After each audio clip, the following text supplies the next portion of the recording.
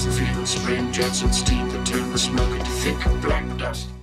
Chapter 19, which is Book 2, Chapter 2 What We Saw from the Ruined House.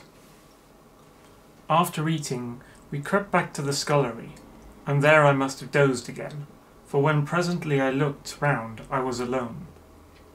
The thudding vibration continued with wearisome persistence. I whispered for the curate several times, and at last felt my way to the door of the kitchen.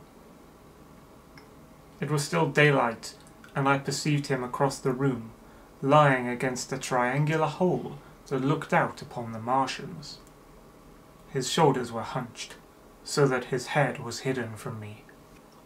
I could hear a number of noises almost like those in an engine shed, and the place rocked with a beating thud. Through the aperture in the wall I could see the top of a tree, touched with gold and the warm blue of a tranquil evening sky.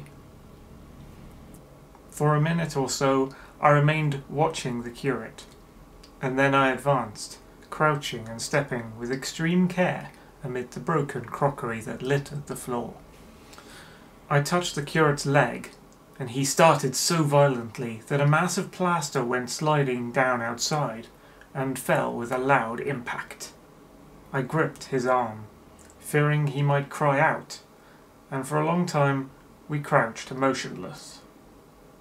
Then I turned to see how much of our rampart remained. The detachment of the plaster had left a vertical slit open in the debris, and by raising myself cautiously across a beam, I was able to see out of this gap into what had been overnight a quiet suburban roadway. Vast indeed was the change that we beheld. The fifth cylinder must have fallen right into the midst of the house we had first visited. The building had vanished, completely smashed, pulverized, and dispersed by the blow. The cylinder lay now far beneath the original foundations, deep in a hole, already vastly larger than the pit I looked into at Woking. The earth around it had splashed under the tremendous impact. Splashed is the only word, and lay in heaped piles that hid the masses of the adjacent houses. It had behaved exactly like mud under the violent blow of a hammer. Our house had collapsed backward. The front portion, even on the ground floor, had been destroyed completely. By a chance, the kitchen and scullery had escaped, and stood buried now under soil and ruins, closed in by tons of earth on every side save towards the cylinder. Over that aspect we hung now on the very edge of the great circular pit the Martians were engaged in making. The heavy beating sound was evidently just behind us, and ever and again a bright green vapour drove up like a veil across our peephole. The cylinder was already opened in the centre of the pit, and on the farther edge of the pit, amid the smashed and gravel-heaped shrubbery, one of the great fighting machines, deserted by its occupant, stood stiff and tall against the evening sky. At first I scarcely noticed the pit and the cylinder, although it has been convenient to describe them first on account of the extraordinary glittering mechanism I saw busy in the excavation, and on account of the strange creatures that were crawling slowly and painfully across the heaped mould near it. The mechanism it certainly was that held my attention first. It was one of those complicated fabrics that have since been called handling machines, and the study of which has already given such an enormous impetus to terrestrial invention. As it dawned upon me first, it presented a sort of metallic spider with five jointed, agile legs, and with an extraordinary number of jointed levers, bars, and reaching and clutching tentacles about its body. Most of its arms were retracted, but with three long tentacles it was fishing out a number of rods, plates, and bars which lined the covering and apparently strengthened the walls of the cylinder. These, as it extracted them, were lifted out and deposited upon a level surface of earth behind it. Its motion was so swift, complex, and perfect that at first I did not see it as a machine, in spite of its metallic glitter. The fighting machines were coordinated and animated to an extraordinary pitch, but nothing to compare with this. People who have never seen these structures, and have only the ill imagined efforts of artists or the imperfect descriptions of such eyewitnesses as myself to go upon, scarcely realize that living quality. I recall particularly the illustration of one of the first pamphlets to give a consecutive account of the war. The artist had evidently made a hasty study of one of the fighting machines, and there his knowledge ended. He presented them as tilted, stiff tripods, without either flexibility or subtlety, and with an altogether misleading monotony of effect. The pamphlet containing these renderings had a considerable vogue, and I mention them here simply to warn the reader against the impression they may have created. They were no more like the Martians I saw in action than a Dutch doll is to a human being. To my mind, the pamphlet would have been much better without them. At first, I say, the handling machine did not impress me as a machine, but as a crab like creature with a glittering integument. The controlling Martian, whose delicate tentacles actuated its movements, seeming to be simply the equivalent of the crab's cerebral portion. But then I perceived the resemblance of its grey brown, shiny, leathery integument to that of the other sprawling bodies beyond, and the true nature of this dexterous workman dawned upon me. With that realization, my interest shifted to those other creatures, the real Martians. Already I had had a transient impression of these, and the first nausea no longer obscured my observation. Moreover, I was concealed and motionless and under no urgency of action. They were, I now saw, the most unearthly creatures it is possible to conceive. They were huge round bodies, or rather heads, about four feet in diameter, each body having in front of it a face. This face had no nostrils. Indeed, the Martians do not seem to have had any sense of smell, but it had a pair of very large dark coloured eyes, and just beneath this a kind of fleshy beak. In the back of this head or body, I scarcely know how to speak of it, was the single tight tympanic surface since known to be anatomically an ear, though it must have been almost useless in our dense air. In a group round the mouth were sixteen slender, almost whip-like tentacles, arranged in two bunches of eight each.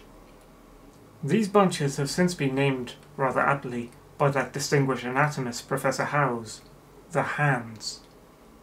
Even as I saw these Martians for the first time, they seemed to be endeavouring to raise themselves on these hands, but of course, with the increased weight of terrestrial conditions, this was impossible.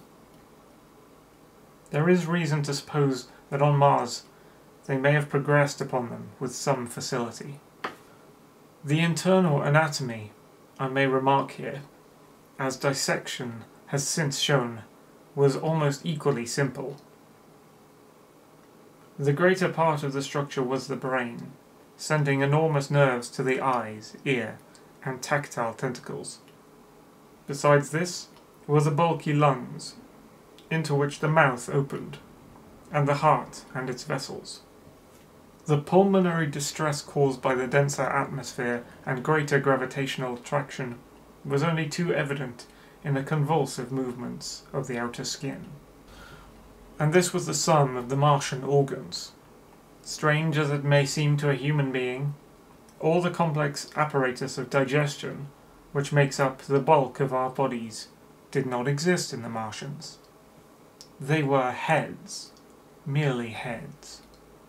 Entrails they had none. They did not eat, much less digest. Instead, they took the fresh, living blood of other creatures and injected it into their own veins. I have myself seen this being done, as I shall mention in its place. But, squeamish as I may seem, I cannot bring myself to describe what I could not endure even to continue watching. Let it suffice to say, blood obtained from a still living animal, in most cases from a human being, was run directly by means of a little pipette into the recipient canal. The bare idea of this is no doubt horribly repulsive to us, but at the same time I think that we should remember how repulsive our carnivorous habits would seem to an intelligent rabbit. The physiological advantages of the practice of injection are undeniable. If one thinks of the tremendous waste of human time and energy occasioned by eating and the digestive process, our bodies are made up of glands and tubes and organs, occupied in turning heterogeneous food into blood. The digestive processes and their reaction upon the nervous system sap our strength and colour our minds. Men go happy or miserable as they have healthy or unhealthy livers, or sound gastric glands. But the Martians were lifted above all of these organic fluctuations of mood and emotion. Their undeniable preference for men as their source of nourishment is partly explained by the nature of the remains of the victims they had brought with them as provisions from Mars. These creatures, to judge from the shriveled remains that have fallen into human hands, were bipeds, with flimsy, siliceous skeletons, almost like those of the siliceous sponges, and feeble musculature, standing about six feet high, and having round, erect heads and large eyes in flinty sockets. Two or three of these seem to have been brought in each cylinder, and all were killed before Earth was reached. It was just as well for them, for the mere attempt to stand upright on our planet would have broken every bone in their bodies. And while I am engaged in this description, I may add in this place certain further details which, although they were not at all evident to us at the time, will enable the reader who is unacquainted with them to form a clearer picture of these offensive creatures. In three other points, their physiology differed strangely from ours. Their organisms did not sleep, any more than the heart of man sleeps. Since they had no extensive muscular mechanism to recuperate, that periodical extinction was unknown to them. They had little or no sense of fatigue, it would seem. On Earth, they could never have moved without effort, yet even to the last they kept in action. In 24 hours, they did 24 hours of work, as even on Earth is perhaps the case with the ants. In the next place, wonderful as it seems in a sexual world, the Martians were absolutely without sex and therefore without any of the tumultuous emotions that arise from that difference among men. A young Martian, there can now be no dispute, was really born upon Earth during the war, and it was found attached to its parent, partially budded off, just as young lily bulbs bud off, or like the young animals in the fresh water polyp. In man, in all the higher terrestrial animals, such a method of increase has disappeared. But even on this earth, it was certainly the primitive method. Among the lower animals, up even to those first cousins of the vertebrated animals, the tunicates, the two processes occur side by side, but finally the sexual method superseded its competitor altogether. On Mars, however, just the reverse has apparently been the case.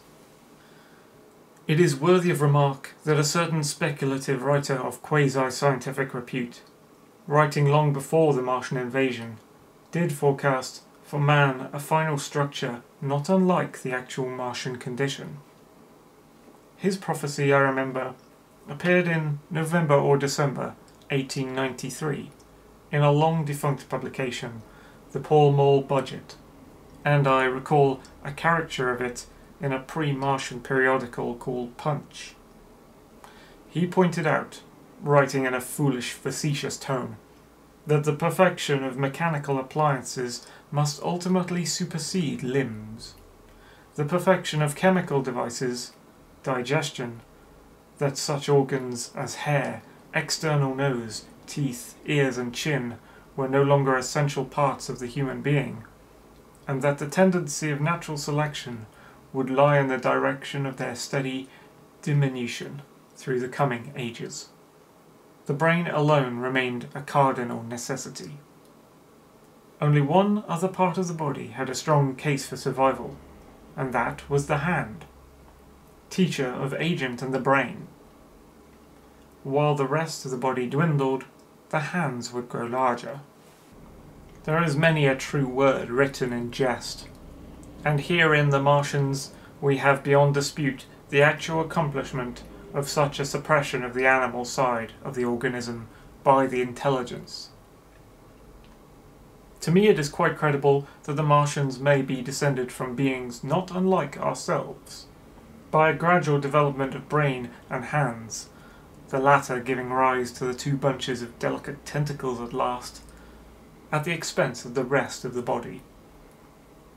Without the body, the brain would, of course, become a mere selfish intelligence, without any of the emotional substratum of the human being. The last salient point in which these systems of these creatures differed from ours was in what one might have thought a very trivial particular. Microorganisms, which cause so much disease and pain on Earth, have either never appeared upon Mars or Martian sanitary science eliminated them ages ago. A hundred diseases, all the fevers and contagions of human life, consumption, cancers, tumours, and other such morbidities, never entered the scheme of their life. And speaking of the differences between life on Mars and terrestrial life, I may allude here to the curious suggestions of the red weed. Apparently, the vegetable kingdom in Mars, instead of having green for a dominant colour, is of a vivid blood red tint. At any rate, the seeds which the Martians intentionally or accidentally brought with them gave rise in all cases to red coloured growths. Only that known popularly as the red weed, however, gained any footing in competition with terrestrial forms. The red creeper was quite a transitory growth, and few people have seen it growing. For a time, however, the red weed grew with astonishing vigour and luxuriance.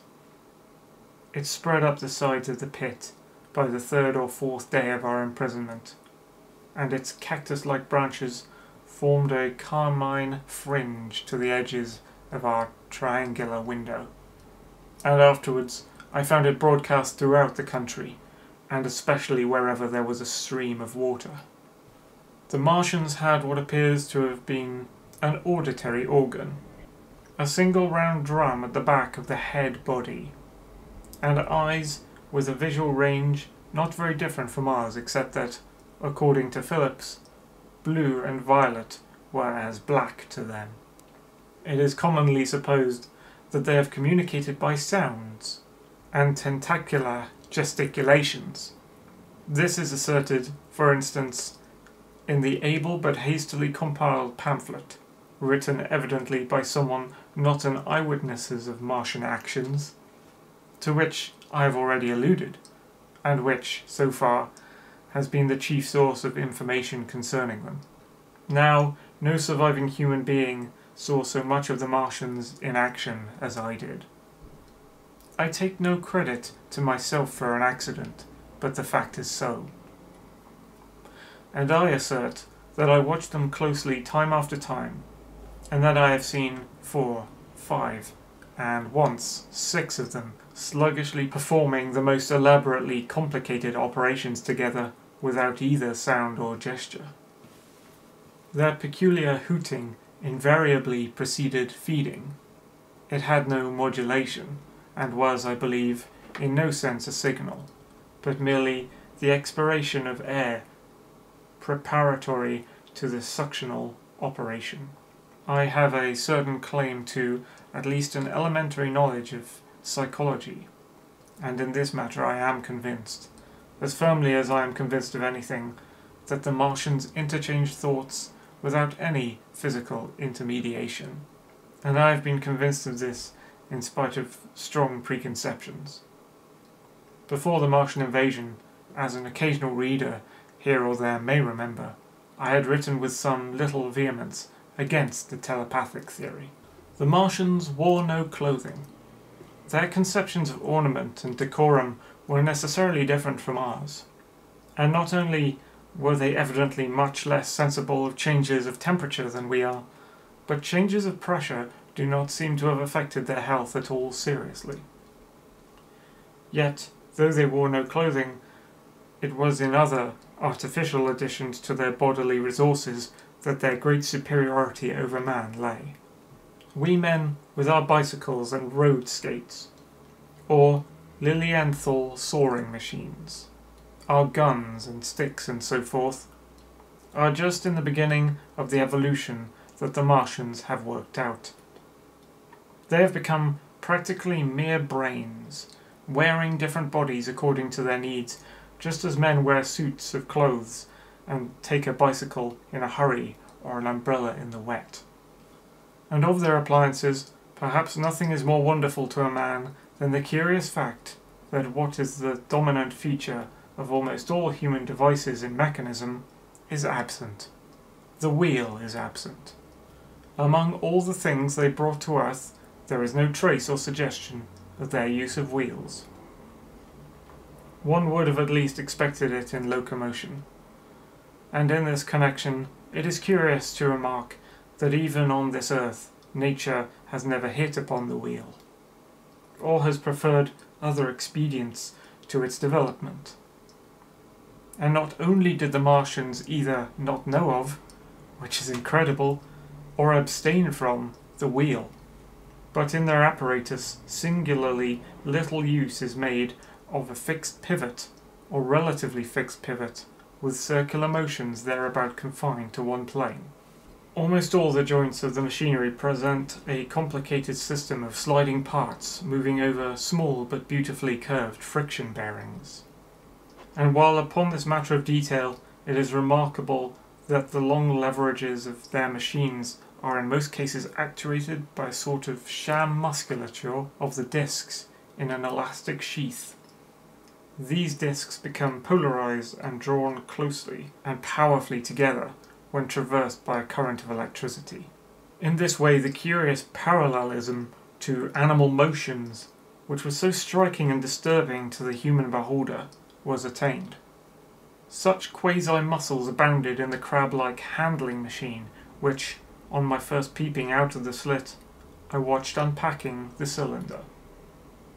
It seemed infinitely more alive than the actual Martians lying beyond it in the sunset light panting, stirring ineffectual tentacles, and moving feebly after their vast journey across space. While I was still watching their sluggish motions in the sunlight, and noting each strange detail of their form, the curate reminded me of his presence by pulling violently at my arm. I turned to a scowling face, and silent, eloquent lips. He wanted the slit, which permitted only one of us to peep through, and so I had to forego watching them for a while, while he enjoyed that privilege. When I looked again, the busy handling machine had already put together several of the pieces of apparatus it had taken out of the cylinder into a shape having an unmistakable likeness to its own. And down on the left, a busy little digging mechanism had come into view, emitting jets of green vapour and working its way around the pit, excavating and embanking in a methodical and discriminating manner. This it was which had caused the regular beating noise and the rhythmic shocks that had kept our ruinous refuge quivering. It piped and whistled as it worked. So far as I could see, the thing was without a directing Martian at all.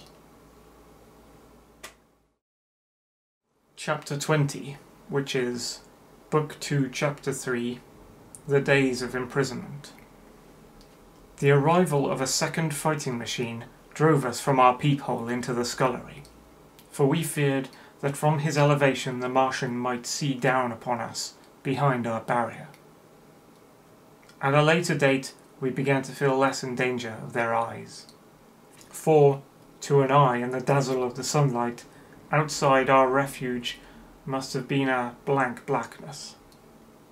But at first the slightest suggestion of approach drove us into the scullery in heart-throbbing retreat. Yet terrible as was the danger we incurred, the attraction of peeping was for both of us irresistible, and I recall now with a sort of wonder that, in spite of the infinite danger in which we were between starvation and a still more terrible death, we could yet struggle bitterly for that horrible privilege of sight. We would race across the kitchen in a grotesque way between eagerness and the dread of making a noise, and strike each other, and thrust and kick, within a few inches of exposure. The fact is that we had absolutely incompatible dispositions and habits of thought and action, and our danger and isolation only accentuated that incompatibility. At Halliford I had already come to hate the curate's trick of helpless exclamation, his stupid rigidity of mind.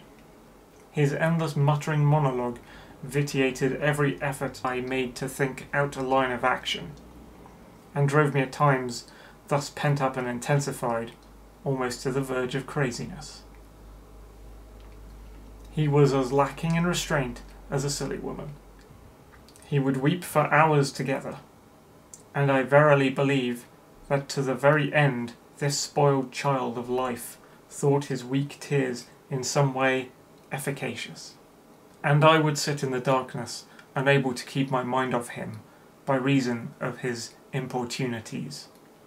He ate more than I did, and it was in vain I pointed out that our only chance of life was to stop in the house until the Martians had done with their pit that in the long patience a time might presently come when we should need food.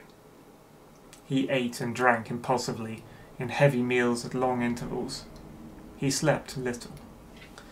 As the days wore on, his utter carelessness of any consideration so intensified our distress and danger that I had, much as I loathed doing it, to resort to threats, and at last to blows.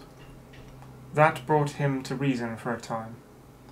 But he was one of those weak creatures, void of pride, timorous, anemic, hateful souls, full of shifty cunning, who face neither God nor man, who face not even themselves. It is disagreeable for me to recall and write these things, but I set them down that my story may lack nothing. Those who have escaped the dark and terrible aspects of life will find my brutality, my flash of rage in our final tragedy, easy enough to blame, for they know what is wrong as well as any, but not what is possible to tortured men. But those who have been under the shadow, who have gone down at last to elemental things, will have a wider charity. And while within we fought out our dark, dim contest of whispers, snatched food and drink, and gripping hands and blows, without, in the pitiless sunlight of that terrible June, was the strange wonder, the unfamiliar routine of the Martians in the pit. Let me return to those first new experiences of mine. After a long time, I ventured back to the peephole, to find that the newcomers had been reinforced by the occupants of no fewer than three of the fighting machines. These last had brought with them certain fresh appliances that stood in an orderly manner about the cylinder. The second handling machine was now completed, and was busied in serving one of the novel contrivances the big machine had brought. This was a body resembling a milk can in its general form, above which oscillated a pear-shaped receptacle, and from which a stream of white powder flowed into a circular basin below. The oscillatory motion was imparted to this by one tentacle of the handling machine. With two spatulate hands, the handling machine was digging out and flinging masses of clay into the pear shaped receptacle above, while with another arm it periodically opened a door and removed rusty and blackened clinkers from the middle part of the machine. Another steely tentacle directed the powder from the basin along a ribbed channel towards some receiver that was hidden from me by the mound of bluish dust. From this unseen receiver, a little thread of green smoke rose vertically into the quiet air. As I looked, the handling machine, with a faint and musical clinking, extended, telescopic fashion, a tentacle that had been a moment before a mere blunt projection, until its end was hidden behind the mound of clay. In another second, it had lifted a bar of white aluminium into sight, untarnished as yet, and shining dazzlingly, and deposited it in a growing stack of bars that stood by the side of the pit. Between sunset and starlight, this dexterous machine must have made more than a hundred such bars out of the crude clay, and the mound of bluish dust rose steadily until it topped the side of the pit. The contrast between the swift and complex movements of these contrivances and the inert, panting clumsiness of their masters was acute, and for days I had to tell myself repeatedly that these latter were indeed the living of the two things. The curate had possession of the slit when the first men were brought into the pit. I was sitting below, huddled up, listening with all my ears. He made a sudden movement backward, and I, fearful that we were observed, crouched in a spasm of terror. He came sliding down the rubbish and crept beside me in the darkness, inarticulate, gesticulating, and for a moment I shared his panic. His gesture suggested a resignation of the slit, and after a little while my curiosity gave me courage, and I rose up, stepped across him, and clambered up to it. At first I could see no reason for his frantic behaviour. The twilight had now come, and the stars were little and faint, but the pit was illuminated by the flickering green fire that came from the aluminium making.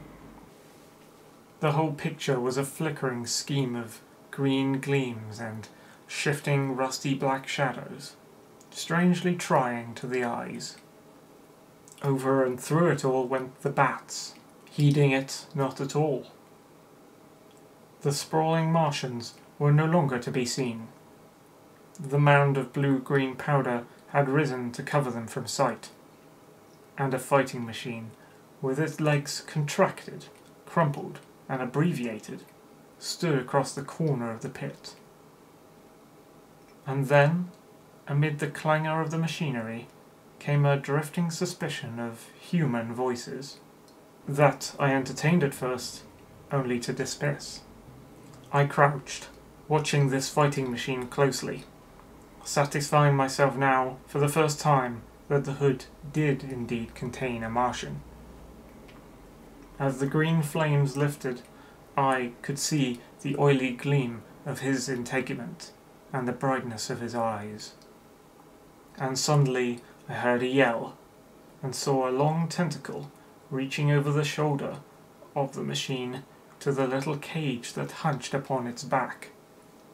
Then something, something struggling violently, was lifted high against the sky, a black, vague enigma against the starlight. And as this black object came down again, I saw by the green brightness that it was a man. For an instant, he was clearly visible. He was a stout, ruddy, middle-aged man, well dressed. Three days before, he must have been walking in the world, a man of considerable consequence. I could see his staring eyes, and the gleams of light on his studs and watch chain. He vanished behind the mound, and for a moment there was silence. And then began a shrieking, and a sustained and cheerful hooting from the Martians. I slid down the rubbish, struggled to my feet, clapped my hands over my ears, and bolted into the scullery. The curate, who had been crouching silently with his arms over his head, looked up as I passed, cried out quite loudly at my desertion of him, and came running after me. That night, as we lurked in the scullery, balanced between our horror and the terrible fascination this peeping had, although I felt an urgent need of action, I tried in vain to conceive some plan of escape. But afterwards, during the second day, I was able to consider our position with great clearness. The curate, I found, was quite incapable of discussion. This new and culminating atrocity had robbed him of all vestiges of reason and forethought.